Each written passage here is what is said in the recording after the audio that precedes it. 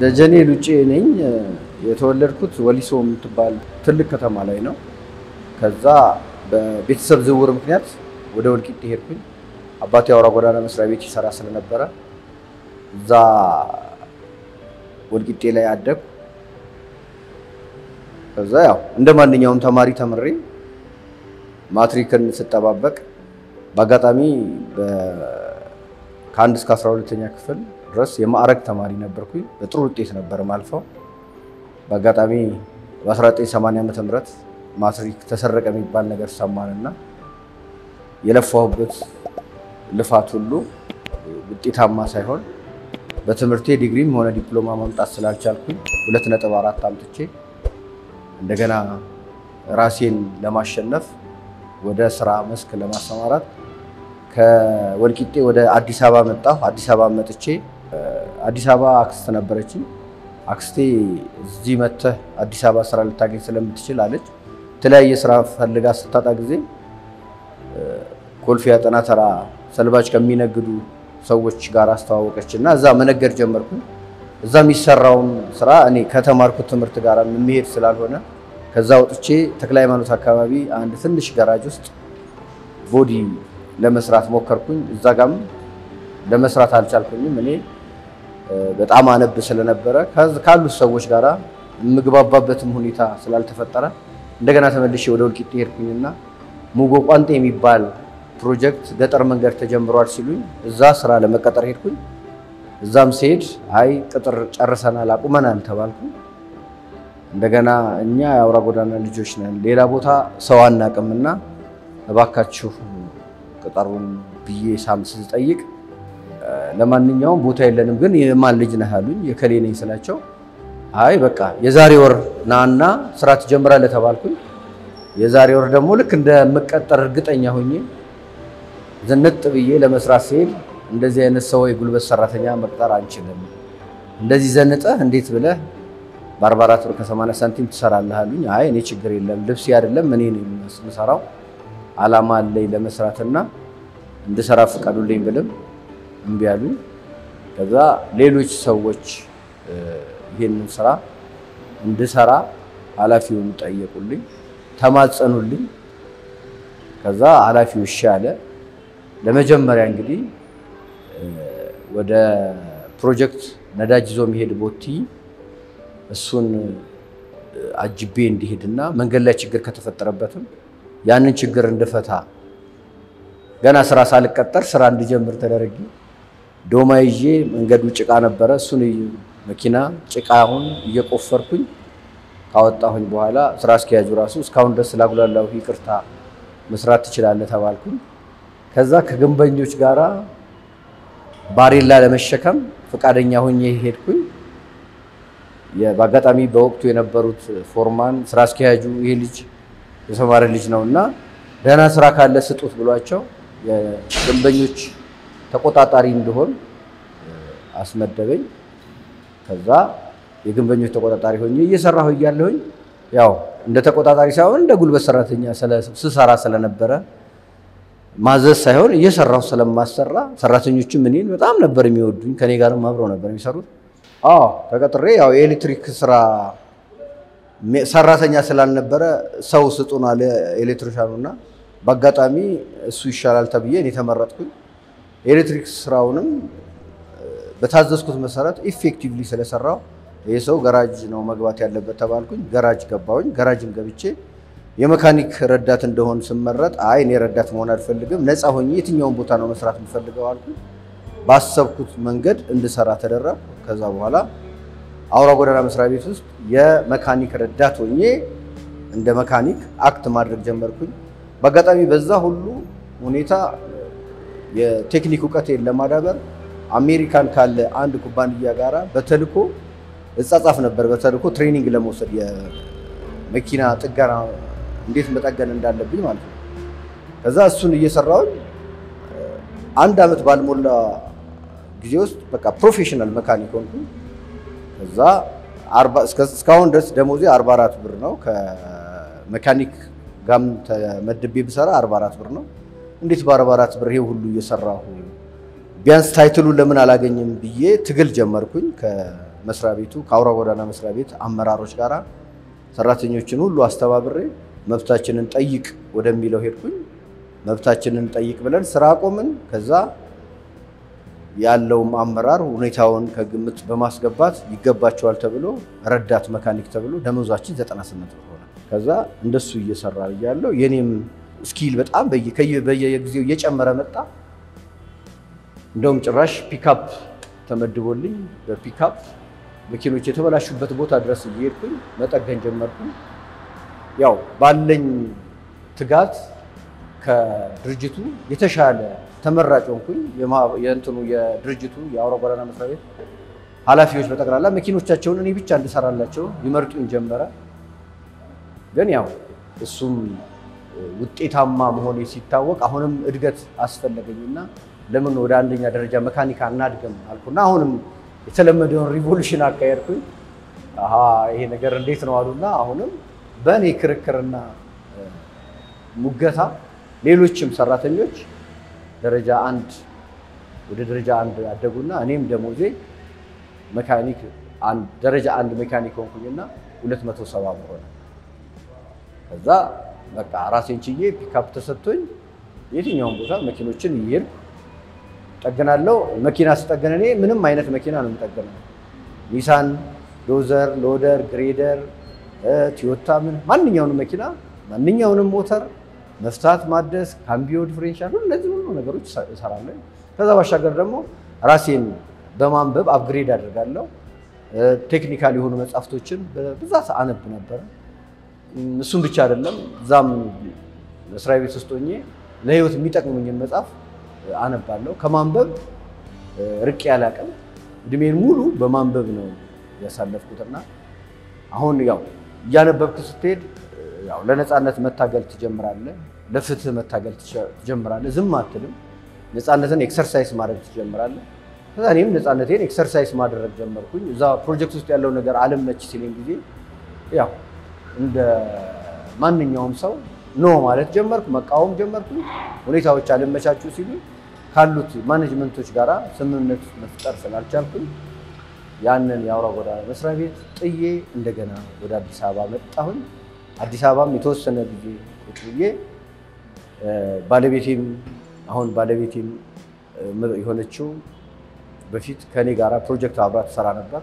በዛ conflict ውስጥ እሷንም አስገብተዋት እሷም ሁለታችንም መስሪያ ቤቱን ለቀን በግላችን አዲስ አበባ መጥተን ሌላ ስራ መፈለግ ጀመርን። እኔ ያው ሾፌር መሆን አልፈልግም ነበርና መካኒክ ሆኜ መቀጠል ፈልጌ አንዳንድ ገራጆች ባማክር አይ መካኒክ አንቀጥረንም ከፈለክ መንጃ ፍቃድ አውጣ አሉ። ያው እንግዲህ አማራጭ ስለሌለ መስራት ስላለብኝ መንጃ ፍቃድ አራተኛ ወጣሁኝ፣ ሾፌር ሆንኩኝ እና በዛ አጋጣሚ ከአውራ ጎዳና መስሪያ ቤት ለቅቄ ወደ አዲስ አበባ መጥቼ የግል መስሪያ ቤት ስቀጠር ከፍተኛ challenge ከቤተሰብ ገጠመኝ። አባቴ እንዴት ዋስትና ያለውን መስሪያ ቤት ጥለህ በግል እንዴት የግል ሰው ተቀጣሪ ትሆናለህ፣ የግለሰብ ተቀጣሪ ትሆናለህ ብሎ ዋስትና ማለት የአውራ ጎዳና መስሪያ ቤት ስትሰራ ጡረታ አለ። አባቴ ያው 35 ዓመት ሰርቶ ጡረታ አስከብሮ ወጥቷል። አሁን ለነሱ እሱ ትልቅ እንደ ዋስትና ነው፣ እንደ ህይወት መሰረት ተደርጎ ነው የሚታየውና ይህንን ሁሉ ጥለህ ግለሰብ እንደፈለገ ሊያስወጣህ ሊያስገባህ የሚችለው ቦታ እንዴት ትገባለህ ተባል። የዛን ጊዜ አንተ ስንት ዓመት ነው የሰራኸው አልኩት። አባቴ 35 ዓመት አለኝ። አንተ 35 ዓመት ሰርተህ 200 ምናምን ብር ነው ጡረታ ይዞ የወጣኸው። እኔ ግን ሶስት ዓመት ተኩል ጠብቀኝ የራሴ መኪና ይኖረኛል ብዬ ፎክሬ የወጣሁኝ። ከዛ ያው መንጃ ፈቃዴን አውጥቼ በሾፌርነት ስሰራ ቆየሁኝ። ከዛ መንጃ ፈቃዴን ወደ አምስት አሳድጌ ደግሞ ጅቡቲ ገባሁኝ። ጅቡቲ ላይ እየሰራሁ እያለሁኝ አሁንም ምንጊዜም መጽሐፍ ከጎን የለኝም። መኪና ውስጥ የሚታየው መጽሐፍ ነው። ብዙ ሰዎች እንደውም መጽሐፍ ይዤ ሲሄድ የጉረኛ ምናምን ነበር የሚሉኝ። ብዙም ጓደኛዬን የመጽሐፍ ነው። መጠጥም አልጠጣም፣ ምንም የትም ማመሽበትም የለም። ማመሻው መጽሐፍ ላይ ነው። ከዛ ያንን እየሰራሁ እያለሁኝ በአጋጣሚ 98 ዓመተ ምህረት የሆነ 97 ላይ የሆነ ምርጫ ነበረ። በዛ ምርጫ ውስጥ ብዙ ሚዲያዎች፣ ጋዜጣዎች ምናምን ይወጡ ነበር። እነሱን እከታተላለሁ፣ እነሱን እተቻለሁ፣ ምን ብዙ ነገር አወራለሁ። የትኛውም ፖለቲካ ፓርቲ አባል አይደለሁም፣ ግን በቃ ጀስቲስ ስለምፈልግ እንደዚህ አይነት complain ኦችን እከታተል ነበር። በአጋጣሚ 98 ላይ network marketing መጣ። network marketing ሲመጣ እዛ training ውስጥ ገባሁኝ ሾፌር እያለሁ። ከዛ network marketing ላይ እኔ ብዙውን focus ማደርገው personal development ላይ ነው እና የሚሰጡትን ስልጠናዎች ወደ ራሴ ስር ነቀል የአመለካከት ለውጥ ለማምጣት ነበር የምጠቀማቸው። በዛ መሰረት ራሴ ላይ ስር ነቀል የአመለካከት ለውጥ ማምጣት ቻልኩኝ። ማለት employee ነበርኩኝ። በስድስት ወር ውስጥ ሰላሳ ሺህ ብር አጠራቅሜ ነበር። በስድስት ወር ውስጥ ወደ self employ ነት ተቀየርኩ። ማለት አብሮኝ ከሚ አለቃ የሆነው ከሚሰራው ሰው ጋራ 30 ሺህ ብሬን አጋጭቼ አንዲት ማርቸዲስ መኪና ገዛሁ። ከዛ የህይወቴ ምዕራፍ ከዛ በኋላ በሂደት መቀየር ጀመረ እና ያችን መኪና ተሳቢ የላትም ሾልቶ ናት።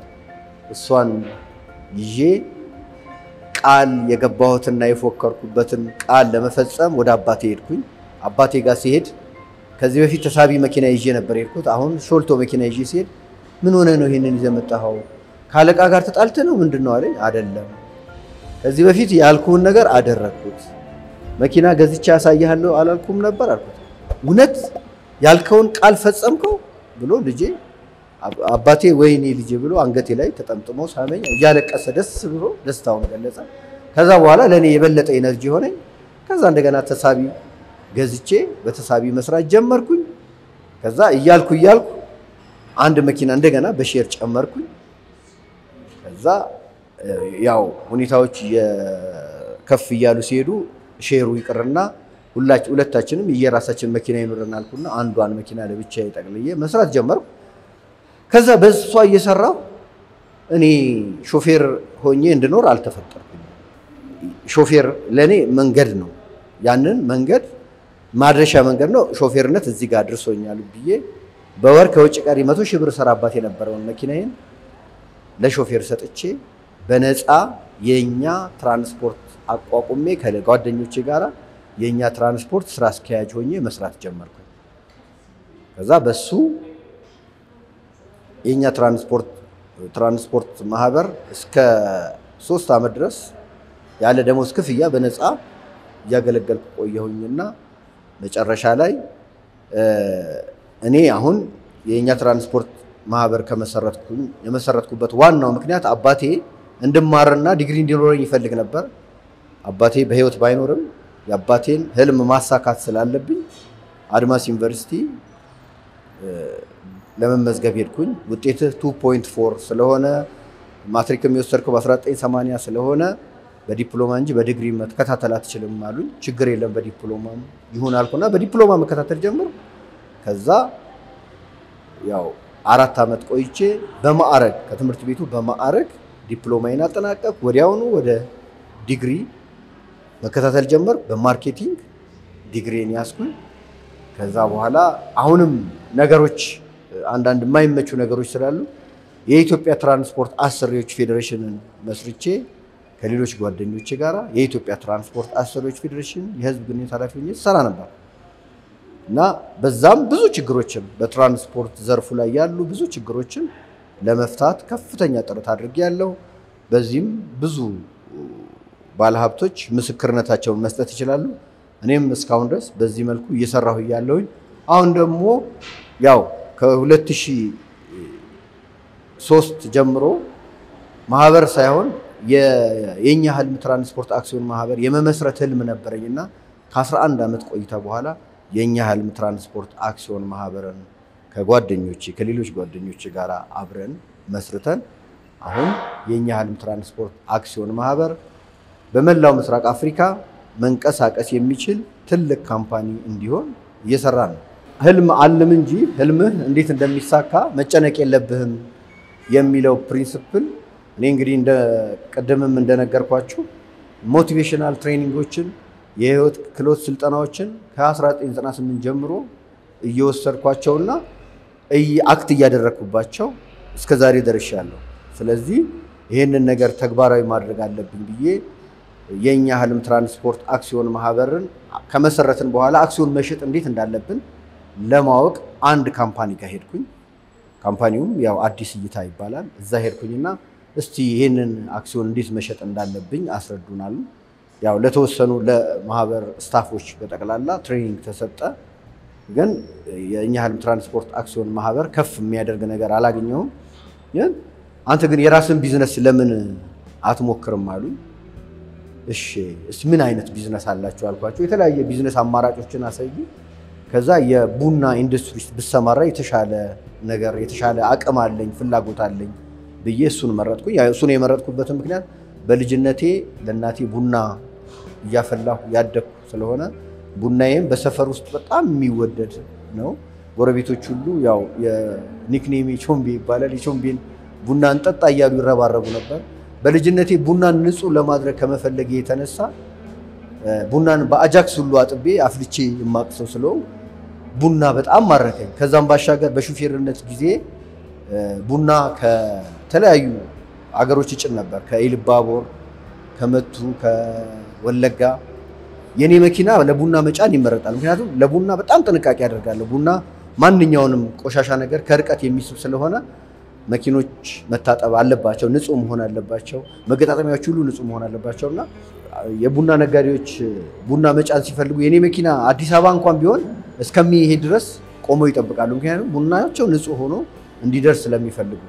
ከዛም ባሻገር ደግሞ አድማስ ዩኒቨርሲቲ research ስንሰራ ከጓደኞች ጋር ቡና ላይ ሰርተን even coffee shop ኣችን ራሱ location መርጠን ጥሩ ቦታ ላይ ከፍተን በዛ ነው present ያደረግነውና በዛም ትልቅ አድናቆት ከአስተማሪዎች እና ከ class ሰዎች ተሰጥቶናል እና በቡና ኢንዱስትሪ ብሰማራ የተሻለ ውጤት አስመዘግባለሁ ብዬ አመንኩኝ።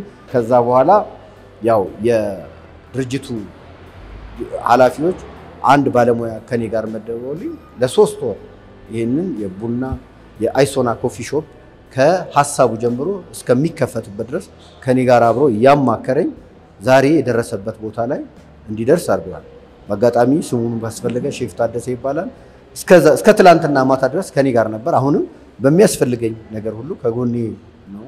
በዚህ አጋጣሚ እሱንም ማመስገን እፈልጋለሁ። አይሶና ያው marketing ተማሪ ስለሆንኩኝ አንድ brand name positioned መሆን አለበት፣ አመራማሪ መሆን አለበት፣ አነጋጋሪ መሆን አለበት። ሰው በራሱ ጊዜ አይሶናን ለመተንተን መሄድ አለበት።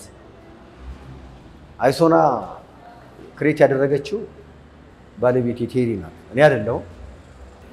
ወደ ዳዊት ድሪምስ ከመግባቴ በፊት እንግዲህ በውስጤ ሁለት ትልቅ ህልሞች ይዤ ነው የገባሁት።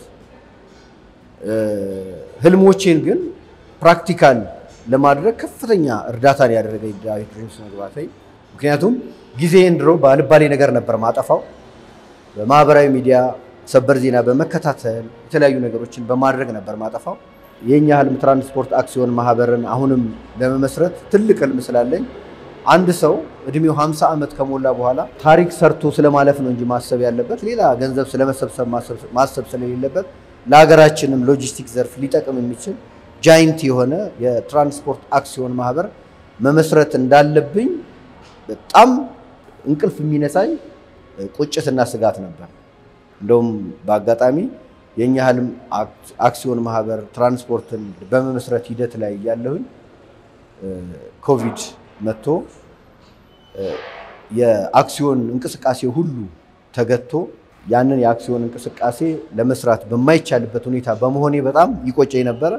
ከዛም ባሻገር ኮቪድን አገራችን ላይ የሚያደርሰውን ተጽዕኖና ችግር ለመጋፈጥ የትራንስፖርት ቤተሰቡን በማስተባበር ከአንድ ነጥብ ሰባት ሚሊዮን ብር በላይ በማሰባሰብ በጋላፊና በደወሌ የሚገቡ ተሽከርካሪዎች ሁሉ ኬሚካል እየተረጨባቸው disinfect ሆነው እንዲገቡ ያደረግኩኝ ሰው ነኝ።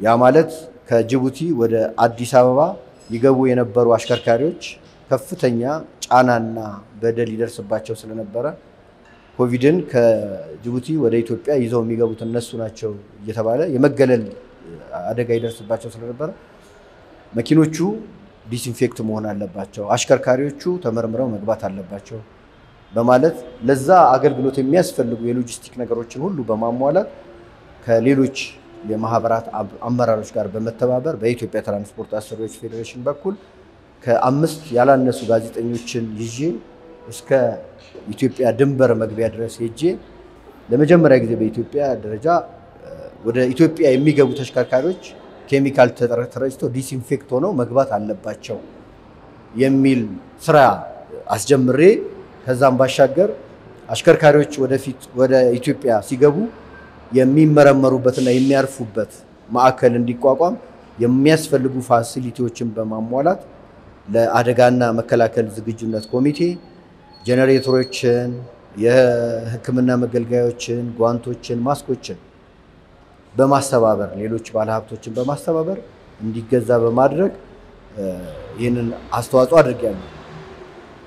በዚህ መሃል ግን ከፍተኛ challenge በህይወቴ ላይ ተከሰተ። ያንን ሁሉ ነገር ካለፍኩኝ በኋላ ኮቪድ የሚባለው ነገር እኛ ቤት ገባ። ኮቪድ በሽታ ተያያዝኩኝ እኔ። ከዛ እኔ ተመርምሬ ኮቪድ መያዜን ሳቅ ቤተሰቦቼ ሁሉ እንዲመረመሩ አረኩኝ። ከቤተሰቦቼ ውስጥ አንድ ልጅ ብቻ ሳትያዝ እስከ ሰራተኛ ድረስ ሰባት ሰው በኮቪድ በሽታ ተያዝን። ከዛ ኮቪድ ተይዤ ለ28 ቀን እንቅልፍ አልተኛውም። ምክንያቱም ትልቅ ህልም አለኝ። ይህን ህልም ሳላሳካ ልሞት ነው የሚል ጭንቀት ነበረኝ። ከዛ ያው እንደምንም ኮቪድን ሙሉ ቤተሰባችን አገግመን ተነሳን። የመጨረሻ ከኮቪድ ስወጣ ያደረኩት የመጀመሪያው ነገር ምንድን ነው? የማህበራት አባላቶችን የትራንስፖርት ባለስልጣን አመራሮችን ሰብስቤ እባካችሁ አክሲዮን እናቋቁም አክሲዮን ካላቋቋምን ትራንስፖርትና ሎጂስቲኩ ችግር ላይ ነው ያለው ብዬ እያለቀስኩኝ ደም እያለቀስኩኝ ብለምን ያንን ሰው ያንን ልመና ሁሉ ሰው ሊሰማኝ አልቻለም። ጥለውኝ ነው የሄዱት። ከዛ በኋላ የባሰ እልህ ተሰማኝ፣ energy ጨመርኩኝ። ከዛ በቃ ባለው ነገር የእኛ ህልም ትራንስፖርት አክሲዮን ማህበር መመስረት አለብን አልኩና ባመኑ ሰዎች የእኛ ህልም ትራንስፖርት አክሲዮን መሰረትን። አሁን የእኛ ህልም አክሲዮን ማህበር ከመመስረት አልፎ አክሲዮን እየሸጠ በከፍተኛ ሁኔታ ላይ እየተንቀሳቀሰ ነው ያለው። ስለዚህ ለእኔ አሁን ይሄ ትልቅ እረፍት ነው፣ ትልቅ እረፍት ነው የሚሰጠኝ። ስለዚህ አሁን የእኛ ህልም ትራንስፖርት አክሲዮን ማህበርን አክሲዮን ለመሸጥ ስልጠና የሚሰጠኝ ሌላ ሰው ስፈልግ አንድ ባለሙያ አማከርኩኝ። የእኛ ህልም ትራንስፖርት አክሲዮን ማህበር እንዴት አልከው ዳዊት ድሪምስን ታውቀዋለህ ወይ አለችኝ። ያንን የምታማክረኝ ሰው ኧረ እኔ ዳዊት ድሪምስ የሚባል ሰው አላውቅም አልኳት። አይ ህልም ስትል ከእሱ ትልቅ ህልም አለኝ የሚል መጽሐፍ አለው ከእሱ ጋር የተያያዘ መስሎኝ ነው ስትለኝ፣ አይደለም ስለ እሱ ተይና አሁን ስለምንሰራው ስራ እንነጋገር አልኩኝ። ከዛ ከእሷ ጋር ከጨረስኩኝ በኋላ ቀጥታ ዩቲዩብ ላይ ገብቼ ዳዊት ድሪምስ የሚለውን እንትን search አድርጌ ሳይ ዳዊት ድሪምስ ወደ ቤታችን በመላ ቤታችን ውስጥ ገባ። ከዛ በኋላ ውሎአችንም አዳራችንም የእሱን ዩቲዩብ የእሱን ፌስቡክ ገጽ ጠቅላላ መከታተል፣ ቴሌግራም ቻናል መከታተል ሆነ። ከዛ ለምን ቶሎ ስልጠናውን አልወስድም አልኩኝ። ስልጠናውን ለመውሰድ ሲሄድ መጀመሪያ amazing class ውሰድ አሉኝ። እኔ amazing ነኝ ራሴ amazing አያስፈልገኝም ብዬ direct ነው ተመዝግቤ class ኡን የጀመርኩት። ከዛች ቀን ጀምሮ በቤታችን ውስጥ ከፍተኛ ለውጥ ልጆቻችን በጠቅላላ ህልማቸውን የሚኖሩ ለሀገር የሚጠቅሙ ልጆች ሆነዋል። የሶስተኛዋ ልጄ ሁለት amazing class ወሰደች፣ ሶስት hiking ሮጠች። ሶስተኛው ላይ ህልሟን በተግባር እዛ hiking እንጦጦ ላይ ዘምራ አሳየች። ዲዛይነር መሆንና መዘመር ነበር። በራሷ ግጥምና ዜማ hiking ላይ ዘመረች እና ትልቅ አድናቆት ነው ያገኘችው። ከዛም ባሻገር medicine የምትማር ልጅ አለችኝ። medicine በጣም ይከብዳት ነበር። አንድ amazing class ወሰደች። ከዛ ደግሞ hiking ሁሌ ትሮጣለች። ሁሉም ይሮጣሉ። ባለቤቴም ጎበዝ ናት። አብረን ነው የምንሮጠው እና የ hiking ቤተሰቦች ነን።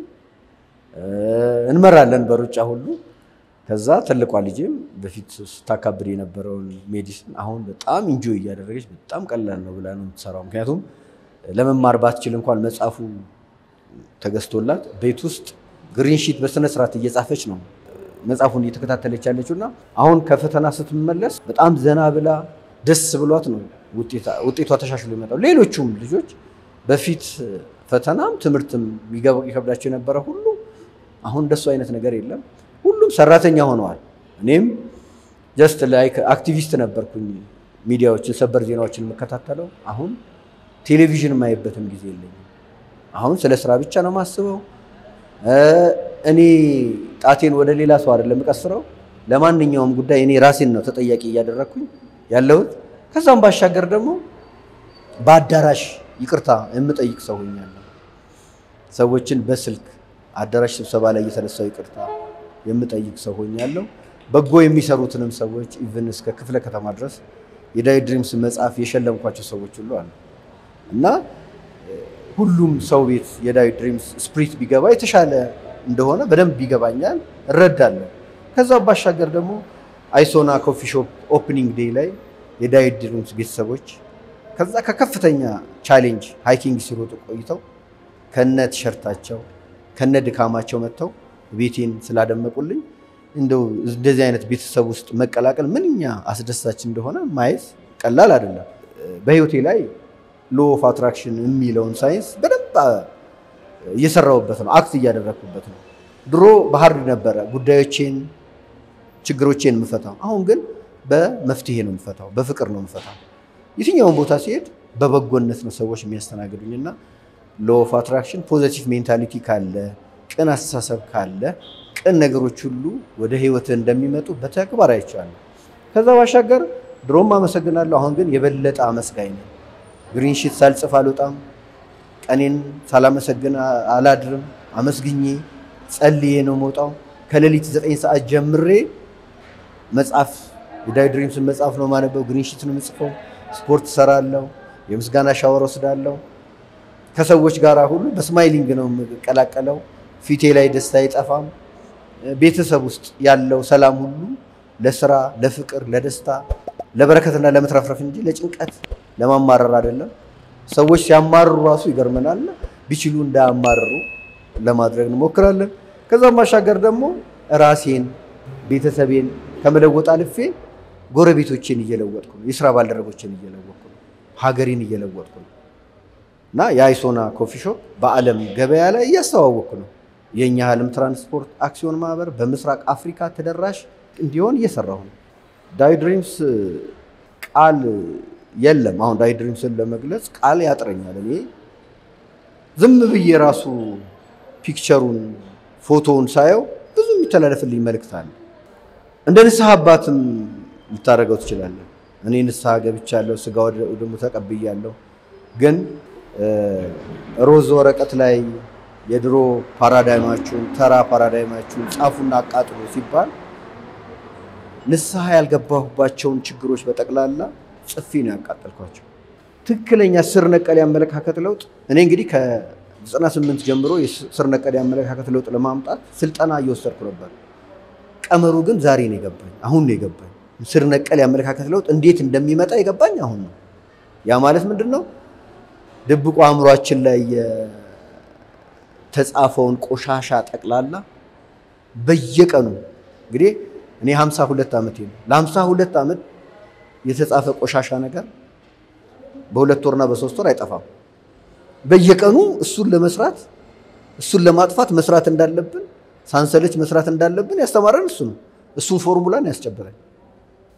እኔ በ imagination ሰዓት እኮ እያለቀስኩ ነበር። imagine ማድረግ የነበረው imagine ሳደርግ ነው። በ imagination ሰዓት ነው እንዴት አድርጌ ትልቁን ህልሜን ማሳካት እንደምችል የሳልኩት። አይሶና coffee shop ብቻ አይደለም። ከታች ground ላይ ባህላዊ ምግቦች even ልጆች እኛ ድሮ ስንጫወት የነበረውን ጨዋታ የሚጫወቱበት ቦታ፣ ቅልልቦሽ የሚጫወቱበትን ቦታ፣ ስፌት የሚሰፉበትን፣ ዳንቴል የሚሰሩበትን ቦታ ሁሉ በ imagination ሰዓት ነው ያገኘሁት። ስለዚህ ዳዊት ድሪምስን እንጂ በቀላሉ መግለጽ አይቻልም። በጣም ሰፊ ነገር ነው እየሰራ ያለው። ኢትዮጵያን ሊቀይር የሚችል ተአምር እየሰራ ነው ያለው። ተአምረኛ ትውልድ እያፈራ ነው። ተአምር መስራት ከባድ እንዳልሆነ በእጃችን እንደሆነ እኛ ራሳችን ተአምር እንደሆነ ተአምረኛ እንደሆነ ያወቅነው በ amazing class። amazing class በጣም serious ነው። ማንኛውም ሰው እሷን ብቻ ቢወስድ ራሱ ማንነቱን ቢያውቅ ከዛ በኋላ ሌላው ነገር ቀላል። ምን ያህል ተአምር መስራት እንደምንችል ምን ያህል አንድ ከተማን ማብራት የሚችል energy energy በውስጣችን እንዳለ ብናቅ ኖሮ ማን መሆናችን ብናቅ ኖሮ እንደዚህ ባልሆነ ነገር ጊዜያችን አናጠፋም። ሁሉም ነገር በእጃችን እያለ ሁሉም ነገር ተሰጥቶን የተሰጠንን ሁሉ ሳናቅ ያልተሰጠን የሚመስለንና ስለ ትንሿ 99 percent ተሰጥቶን ስለ አንድ percent ብቻ complain ማድረግ እንደሌለብን ያሳየን ስለሆነ ዳዊት እድሜውን የማቱሳላ እድሜ ያድርገው። ማስተላለፍ የምፈልገው መልዕክት እኔ በተቻለ መጠን ሰዎች እንደዚህ አይነት ትምህርቶችን እነዚህ የህይወት ክህሎት ስልጠናዎችን ቢወስዱ የህይወት ክህሎት ስልጠና የሚሰጡ ዩቲዩቦችን፣ ቪዲዮዎችን ቢመለከቱ የማይሆን ሰበር ዜና ላይ ጊዜያቸውን ከሚያጠፉ ራሳቸውን አውቀው ራሳቸው ማን ናቸው፣ ለምን ተፈጠሩ፣ ማንነታቸው ምን እንደሆነ ቢረዱ የተሻለ ይመስለኛል። ከዛ ባሻገር ደግሞ እነዚህ የህይወት ክህሎት ስልጠና አሰልጣኞች በጋራ ተባብረው ቢሰሩ ተባብረው ይቺን ሀገር ወደ ተሻለ ነገር ለማድረስ አንዱ የሌለውን አንዱ እያሟላ አንዱ ከሌላው የተቀናጀ በህብር በጋራ ቢሰሩ የተሻለ ደረጃ ማምጣት ይቻላል። ያው የዳዊት ድሪምስ family motto አንድ ብር ከአንድ ዶላር እኩል ነው። አንድ ብር ከአንድ ዶላር እኩል ነው። በንጉሱ ጊዜ እኮ እኩል ነበረ። ያልነበረ ነገር አይደለም የምንጠይቀው። ሌላ ዓለም ላይ ላይሆን ይችላል። እኛ ሀገር ግን አንድ ብር ከአንድ ዶላር እኩል ነበረ፣ አሁንም እኩል ነው። ስለዚህ ሁላችንም አንድ ብርን ከአንድ ዶላር ጋር እኩል ለማድረግ መስራት ነው ያለብን። በእኛ አእምሮ አንድ ብር ከአንድ ዶላር ጋር እኩል ነው። ሌላውም ይህንን ስፕሪት አምጥቶ ማንነቱን አውቆ በምንም ነገር ሳንከፋፈል የአዳም ዘሮች መሆናችንን ብቻ በመገንዘብ እንደ አዳም ልጅነታችን እያሰብን ብንሰራ የተሻለ ውጤታማ መሆን እንችላለን። ማመስገን የምፈልገው የህይወት ክህሎት ስልጠና አሰልጣኞችን በጠቅላላ ማመስገን እፈልጋለሁ። አሁን ዶክተር ዳዊት ድሪምስ በየሁለት ወሩና ሶስት ወሩ አምስት አምስት መቶ ሰው እያሰለጠነ ወደ market እየቀላቀለ ነው። ይህንን ሰው ጥበቃ አስፈላጊው ጥበቃ ቢደረግለት፣ ሌሎችም እነዚህ motivational trainer ኦች የመንግስት ድጋፍ ቢደረግላቸው ለሀገራችን የተሻለ ለውጥና ውጤት ማምጣት ይችላሉ። የተሻሉ ህልምና ራዕይ ያላቸውን ሰዎች መፍጠር ይችላሉና እነዚህ ሰዎች ሊመሰገኑ ሊከበሩ ይገባል እላለሁኝ። ከዛ ባሻገር የዳዊት ድሪምስ family ዎች በጠቅላላ በተለይ እኛ master mind dreamers group አለን። የእኛ amazing master mind dreamers group ለአይሶና coffee shop መከፈት እለት በእለት በሀሳብም በጉልበትም በገንዘብም በምንም የተባበሩን ከዛ ባሻገር ጠቅላላ የ28ኛ ወይንም ክሩዝ batch ኦች በጠቅላላ ከ hiking class መጥተው ላባቸውን ሳይታጠቡ ከነ ቲሸርታቸው ድካማቸው ከድካማቸው ሳያርፉ የኔን የአይሶና coffee shop opening ሊያደምቁልኝ በትልቅ ድምቀት እንዲከበርልኝ ስላደረጉልኝ እነሱን ማመስገን እፈልጋለሁ።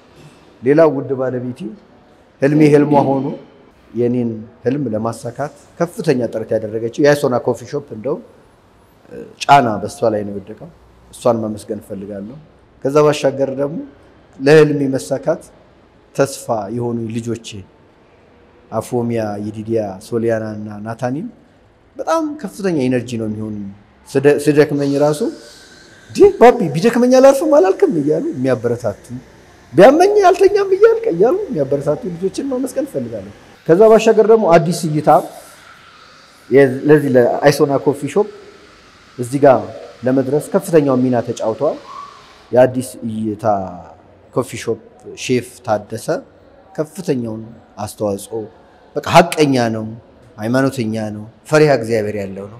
በሀቀኝነት ከኔ በላይ እየተጣላና challenge ኦችን እያለፈ እዚህ ጋር ስላደረሰልን እሱን ማመስገን እፈልጋለሁ።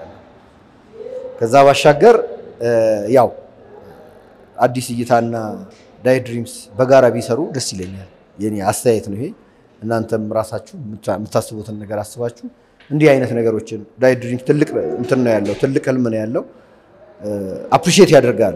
ሌላ motivational speaker ኦችን appreciate ሲያደርግ ነው በደንብ ብዙውን ጊዜ ማየውና እሱ appreciation ሌላ ቦታ የለም። ሁሉም ጋር ኖሮ እንደሱ ቢሆን የተሻለ ይሆናል። ከዛ ባሻገር ዳዊት ድሪምስን በህይወቴ ላይ ትልቅ ለውጥ አምጥቷል። በጣም ነው የማመሰግነው። ፍጹም መንፈሳዊ እንደሆነ አድርጎኛል። ብዙ ጊዜ የንስሐ አባቴ ነው የምለው እኔ እንደው ማለት ምንም አይከብድም፣ አይሰለችም፣ ምንም ነገር አይሰለችም። በደንብ ይሰማል፣ ለሁሉም ሰው ጊዜ ይሰጣል። መድረክ ላይ የሚያደርጋቸው ድርጊቶች ሁሉ ሙሉ attention እሱ ላይ እንድትሰጥ ያደርግሃል። ከዛ ባሻገር ከ class ውስጥ pick እያደረጋቸው ምሳሌ የሚያደርጋቸው ሰዎች ለሁላችንም የህይወት ትምህርት በተግባር የሚያስተምርበት ስለሆነ ዳይ ድሪምስን በጣም ነው ማመስገን ፈልገው እጸልይለታለሁ። ሁል ጊዜ በጸሎቴ ዳይ ድሪምስ እና ቤተሰቡን በጸሎቴ ሁሌ ነው ማስበው። ሳላስባችሁ አልቀርምና እግዚአብሔርም በጎ ነገር ስለምናስብ በጎ ነገር ስለምናደርግ ሀገራችንን እንደምንቀይር ስለማምን ሀገራችንም ስለቀየርን ዳይ ድሪምስና ቤተሰቡ ተአምር ሰርቶ ተአምር እንደሚመሰክር ስለማምን ማመስገን እፈልጋለሁ። በአጋጣሚ ኢትዮጵያ በቀለ የአንደኛው ህልሜ በ imagination period ላይ ያየሁት ነገር ምንድን ነው? እኔና ባለቤቴ ንጉሥ መስለን ማነው ካፌያችንን ስናስመርቅ imagine አድርጌያለሁ። የለበስነው የአንድ የ dreamers ልብስ ነው። የዛን ሰዓት በአጋጣሚ እሱ ስላልተገኘ ቦታውን ኢትዮጵያ ተክታ በሚያምር ልብስ የባህል ልብስ ቤታችንን እንድናስመርቅ ያደረገችልን የድሪምስ ቤተሰብ ኢትዮጵያ በቀለ ናትና ኢትዮጵያ በቀለን በዛን ቀን ስላሽቆጠቆጠችን ማመስገን እፈልጋለሁ። ስለዚህ አሁን የ business circulation ኡ እኔ ጀምሬዋለሁ፣ ሌሎቻችሁ ቀጥሉ። አመሰግናለሁ።